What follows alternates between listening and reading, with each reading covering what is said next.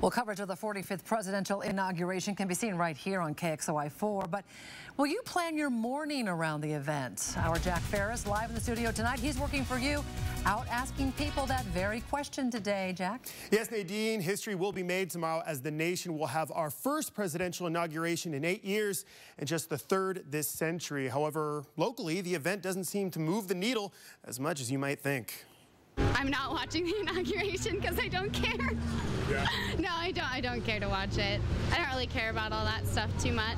Caitlin's feelings seem to be the majority of those in downtown Spokane today as the lunch hour crowd planned to do just about anything but watch the event. Uh, working and ignoring it. What time is it on at? early. I feel that I'm not excited about it, and I'm gonna pay attention to what's on at hand, uh, what's at my doorstep, as opposed to what's coming. I didn't even actually know. I forgot about voting, and then I just woke up and everyone was like, "Trump won," and I was like, "Woo, yay!" Not even the potential for the unexpected was enough to sway these downtown patrons. nah, my mom will fill me in. Yeah. she she'll watch it.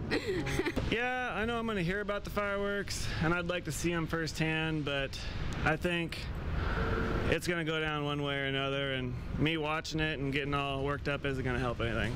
It should be noted that apathy for the inauguration ceremony doesn't necessarily reflect the same for the nation's future. I mean, I'm interested to see what Trump can do.